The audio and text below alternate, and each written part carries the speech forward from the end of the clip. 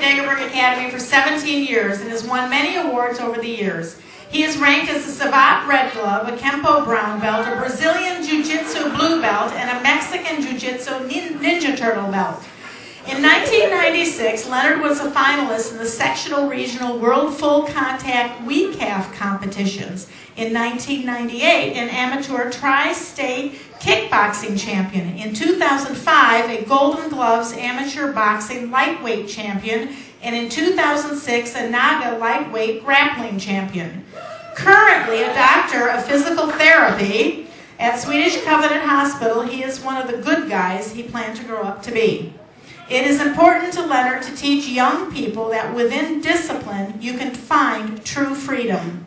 He thanks Oscar Bravo, Brother Vincent, and Father Nicholas for sharing the beauty of martial arts with him.